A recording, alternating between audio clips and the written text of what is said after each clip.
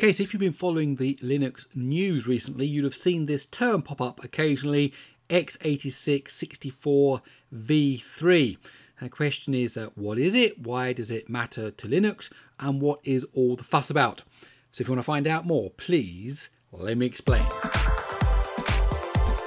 Okay, so let's go back 39 or so years to the Intel 80386, the 386 for short. It really was a turning point for modern desktop and server computing. So it was released in 1985 and it was Intel's first 32-bit processor and it included a full memory management unit which means it could run OSs that use virtual memory. If you want to know more about virtual memory then I do have a video here on this channel. What is virtual memory, MMU, page tables and more. I highly recommend, of course I do, that you check out that video. However, things didn't stop uh, just with the x86 as defined by the Intel 386. There's always been more progression, things have changed, um, and as the time has gone past, this older chip and its microarchitecture and the instructions it had have kind of been dropped. So Debian Linux dropped 386 support in 2005, completely removed it in 2007, and the Linux kernel itself dropped support in uh, 2012, even though Linux was originally actually developed on 386 and 486 machines. Now, after the 386 came the 486, the 586, the 686, and, and so on. For naming purposes, they got called the Pentium, Pent for 5, 586, and Pentium 2, and so on, because you can't copyright a number. So that's why that didn't happen. Uh, and each new version added more instructions to the x86 instruction set and introduced new extensions like MMX and SSE. After a while, the common operating system started to drop support for 32-bit x86 in total. So we moved over into the 64-bit era. And so now Windows 11 is 64-bit only. Ubuntu stopped supporting 32-bit PCs in 2018. Mac OS went fully 64-bit in 2011 and so on. So now we're in the 64-bit era. It doesn't mean that things have stopped. No, no, sir, no, no. Things keep on progressing.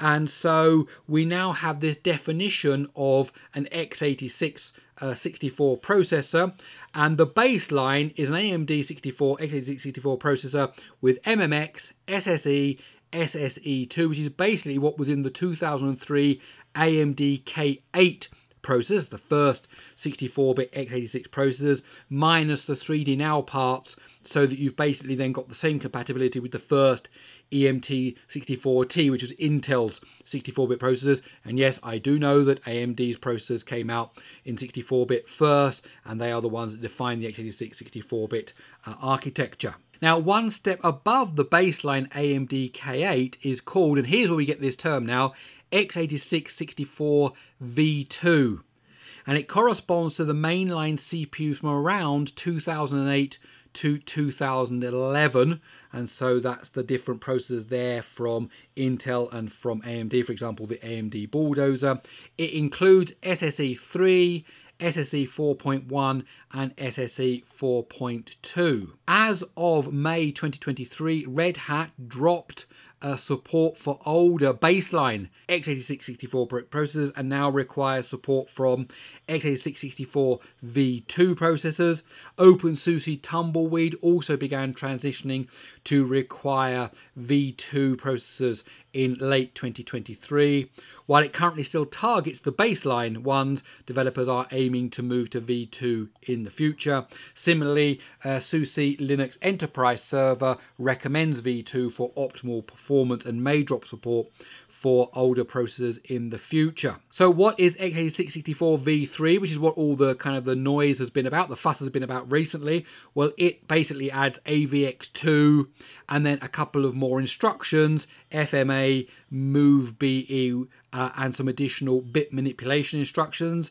AVX2, also known as the Haswell instructions, is an expansion to the original AVX uh, instruction set that was introduced in Intel's Haswell microarchitecture. Move B instruction is provided for swapping bytes on a read from memory or on a write to memory, thus providing uh, conversion to little endian and big endian uh, very quickly in hardware. I have videos here on this channel about the difference in little endian and big endian if that kind of thing interests you. And the fused multiply add instruction combines multiplication and addition into a single operation that computes the intermediate result with finite precision. Very, very handy, particularly for, for gaming, for matrix stuff, and of course for neural network stuff. So x86 v3 was implemented in the first uh, Intel Haswell generation CPUs. That's in 2013. AMD implemented it in uh, 2015. But uh, Intel Atom product line only added V3 support with the Gracemont microarchitecture. However, Intel still continued to release Atom CPUs without AVX or AVX2, uh, including the Parker Ridge line uh, and some variants in 2023. So this is why V3 has kind of been slowing becoming a baseline because not all Intel processors support it, and so therefore mandating it would be a bit problematic. However, these are Atom processors, not server processors. But anyway, uh, so you're not guaranteed to have, particularly to have uh, V3. You have to check your particular processor. And there is also an x86 64 V4. For completeness, also worth mentioning that adds AVX uh, 5112. Now, if you want to test whether your CPU has x86 64 in it, then you can use this tool called x86 64 level, which uh, you can find there in GitHub. It's a shell script that basically looks at slash uh, proc slash CPU info and tells you about your CPU. Or you can run LD Linux, the linker, dynamic linker there, minus minus help. Uh, so for example, on Ubuntu, you'd have to do uh, slash usr slash lib64 ld linux x8664.so.2 minus minus help. Okay, and then that will give you a listing. And here you can see, you know, it tells you it supports V2, V3, uh, and V4. So why is all the fuss about this? Well, Red Hat Linux, uh, Enterprise Linux 10 will move to the V3 baseline. Gentoo is now offering uh, V3 packages. Uh, there are experimental builds of Ubuntu Server using uh, v3. This basically means that when they compile it, they use the right compiler flags to actually make sure that AVX2 uh, can get used when it needs to, if there is a way of doing it that way, rather than using you know traditional floating point or or whatever, or the FMA instruction or whatever. So when the compiler comes across a particular sequence, it can say, oh, I can do that in hardware using these things, but it has to have that hardware support. Uh, and so that's what's coming out now and what's coming out in these different and i'm sure that lots of other different linux distributions have various statuses on this on what they are supporting.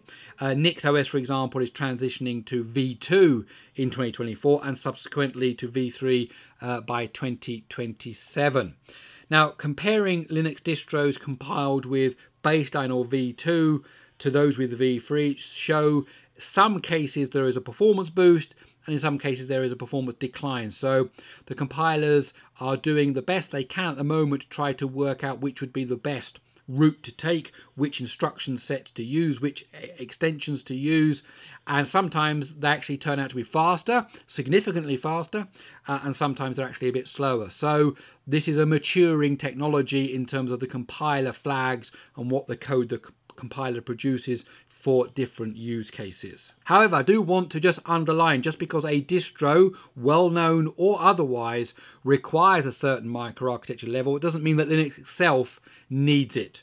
For example, you can still get 32-bit Linux distributions uh, even today, so that's not a problem. Uh, Linux didn't drop it, just that particular distro, whether it be Ubuntu or, or, or whatever. So uh, you can always find a version of a Linux distribution that suits the particular hardware you've got, particularly if you've got an old PC, 32-bit PC, you know, you can still get them. So don't, that's not a worry. It's about what the leading edge and most popular distros are doing. If the Linux kernel drops support for a certain microarchitecture level, like it did with the 386, that would be a different thing. And we're not at that stage yet. We're talking about what the distros are doing, not the Linux kernel itself. And of course, this is only about 64-bit x86 processors from Intel or from AMD.